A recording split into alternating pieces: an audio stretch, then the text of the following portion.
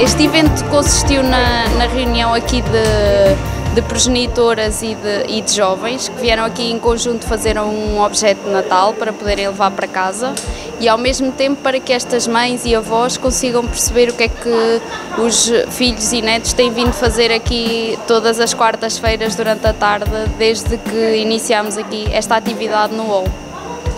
Acho que sim, meu filho veio para aqui, participou e gostou muito de aprender, porque ele não sabia nada disto. Uma atividade muito boa, pronto, é uma oportunidade que dão às crianças, é uma coisa muito linda que depois eles aqui podem ter futuro com isto aqui. É uma, atividade que bem, parece que não são logo 4 ou 5 crianças e é bom. O tempo quando, quando não vão à escola, vão para aqui, vêm para aqui e fazem um bom projeto disto aqui.